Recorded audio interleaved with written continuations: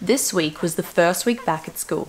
It was also the first solid week on the homestead after a very busy holiday period. All the flowers and plants are thriving with all the rain and the sunshine. Today, we're determined to get one more project finished before school is completely back on.